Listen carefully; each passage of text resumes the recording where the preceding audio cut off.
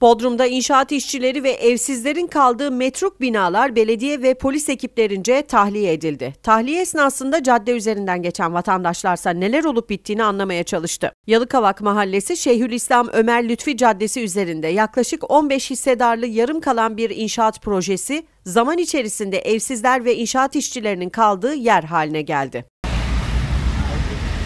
Mahkemelik olduğu için tamamlanamadığı öğrenilen binalarda kalan evsizlerin hem hijyenik olmayan koşullarda yaşaması hem de çevreye rahatsızlık verdikleri yönünde şikayetler üzerine bina tahliye edildi. Bodrum Belediyesi'nce binanın girişlerine duvar örüldü. Bir süre sonra örülen duvarlar kırılarak binalar yine evsizlerin ve inşaat işçilerinin yaşadığı bir yer haline geldi. Yaklaşık 10 bloktan oluşan metruk binalarda kalan kişi sayısının zaman zaman yüze ulaştığı ifade edilirken, Son dönemde yaklaşık 30 kişinin metruk binalarda yaşadığı belirtildi.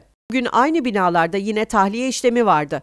Bodrum Belediyesi ve polis ekipleri tarafından hijyenik olmayan koşullarda yaşayan ve çevreye rahatsızlık verdikleri ifade edilen inşaat işçileri ve evsizler tahliye edildi. Binaların etrafına bu kez çit örüleceği bildirildi.